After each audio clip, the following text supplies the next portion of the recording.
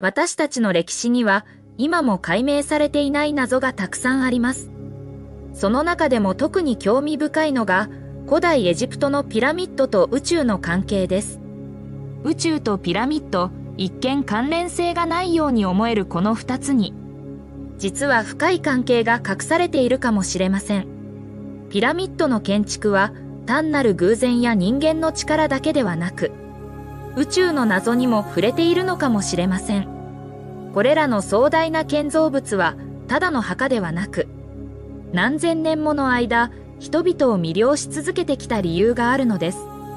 古代エジプト人は今から約4500年前に驚異的な天文学的知識を持っていました。では彼らはどのようにしてこれらの知識を得たのでしょうか。まず注目すべきは彼らの暦です。エジプト人はナイル川の氾濫周期をもとにした独自の暦を作りました。これは農業活動に不可欠な情報であり彼らの日々の生活と密接に関わっていました。さらに彼らは星々を使って季節を判断しそれによって農作業のタイミングを決めていました。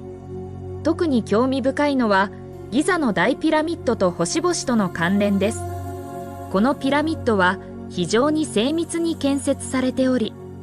その基礎は地球の四角四方に対してほぼ完璧に整列しています。さらに驚くべきことに、このピラミッドの通路は、約4500年前の北極星に向けて建てられているのです。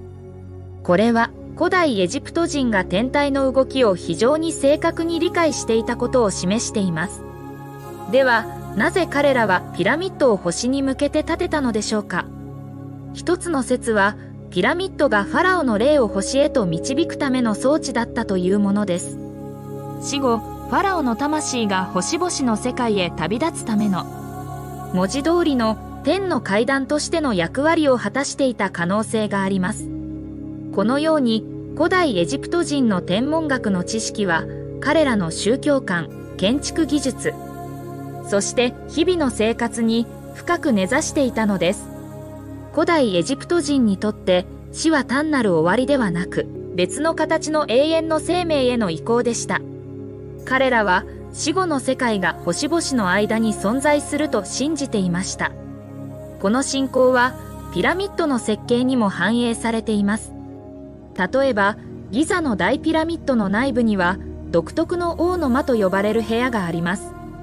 この部屋はファラオが死後星へと旅立つための門とされていました。またエジプト神話では多くの神々が星や天体と関連づけられていました。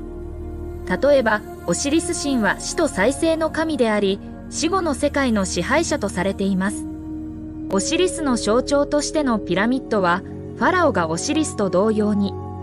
死後に再生し永遠の命を得るためのシンボルだったのです。このようにピラミッドは単なる墓ではなく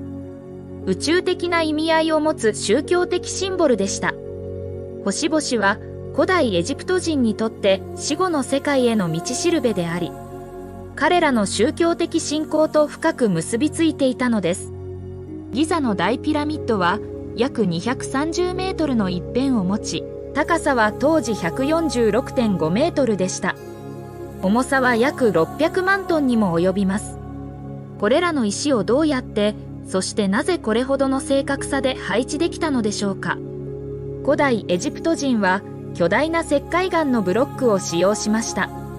これらのブロックはナイル川沿いの採石場から運ばれ正確な角度と方向に配置されました。彼らは星々の位置を利用して方向を定め太陽の動きを使って角度を計測していたと考えられています。現代技術ではこのような大規模な建築物を建設する際には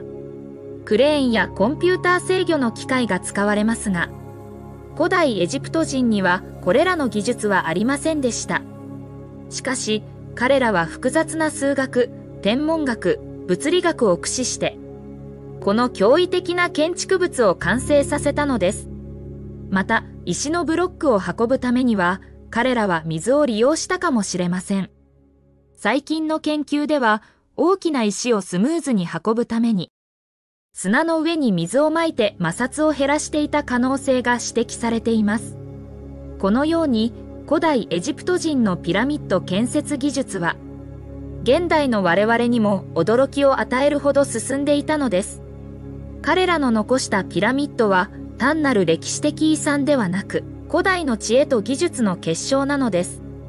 次は古代エジプトの神話と宇宙観に目を向けてみましょう。エジプト神話は宇宙の創造や天体現象を説明するための豊かな物語を持っています。エジプト神話における宇宙観は現代の私たちが理解する宇宙観とは大きく異なります。エジプト人は宇宙を地上、天界、そして冥界の3つの領域からなると考えていました。天界は太陽神、ラーが支配する場所であり、毎日太陽が昇り沈むのはラーの太陽の船が空を旅するためだとされていました。また、彼らは星々が神々の霊魂であると考え、これらの星々が人間の運命に影響を与えると信じていました。例えば、シリウス星は重要な役割を果たしており、この星の出現はナイル川の氾濫と農業のサイクルを示す重要な兆候とされていました。さらに、エジプトの神々は天体現象と深く関連しています。例えば、夜空に輝くオリオン座は、オシリス神を象徴しているとされ、イシス神はシリウス星と関連づけられています。これらの星座や星の動きは、神話の物語と結びついて、エジプト人にとって宇宙の理解の鍵となっていました。このように、古代エジプト人は宇宙を神秘的な視点から見ており、星々や天体現象は彼らの宗教観、文化、そして生活の一部となっていたのです。古代エジプトのピラミッドと宇宙の関連性を探る中で、いくつかの疑問と興味深い説が浮上しています。最も有名なのは、いわゆる古代宇宙飛行施設や UFO との関連です。古代宇宙飛行施設は1960年代に登場し、古代の文明が宇宙人の技術や知識を用いて発展したと主張しています。この説によると、ピラミッドやその他の古代の遺跡は、宇宙人の存在や介入の証拠であるとされます。例えば、ピラミッドの建築技術やデザインが当時の地球上の技術を超えていることが、この説の根拠とされています。しかし、科学的な視点からは、この説には多くの批判があります。考古学者や歴史学者は、ピラミッドやその他の古代の建造物が、人間によって建てられたことに多くの証拠があると指摘しています。実際、古代エジプト人が使用した工具や建築技術、計画の記録などが発見されています。これらの発見は、彼らが高度な数学、天文学、工学の知識を持ち、独自の技術でこれらの建造物を建設したことを示しています。また、UFO や宇宙人の介入を示唆する証拠とされるものの多くは、より自然な解釈や科学的な説明が可能です。古代エジプト人の芸術作品や象形文字が宇宙人を描いているとの主張もありますが、これらは彼らの宗教観や象徴的表現の一部と考えられます。古代エジプトのピラミッドは、今なお世界中の科学者や考古学者によって研究され続けています。最近では、先進的なテクノロジーを用いてピラミッドの内部構造や建築方法に新たな光を当てる試みが行われています。例えば、非侵襲的なイメージング技術を使い、これまでアクセスできなかった内部の空間を探索しています。このような技術の一つが宇宙船を用いたミュオン撮影です。この方法はピラミッド内部に存在する未知の空間や通路を探るのに使われ、新たな発見につながっています。実際、最近の研究で、ギザの大ピラミッド内部に大きな空洞が存在する可能性が示されました。これはピラミッドの建築技術や使用目的について新たな理解をもたらすかもしれません。また、3D スキャン技術やデジタルシミュレーションを用いて、ピラミッドの正確な建築方法を再現しようとする試みもあります。これらの技術は、古代エジプト人がどのようにしてこれらの巨大な石を運び、配置したのかを理解するのに役立っています。これらの最新の研究は、ピラミッドが単なる古代の墓ではなく、技術、工学、天文学の面で非常に進んだ文明の産物であることを示しています。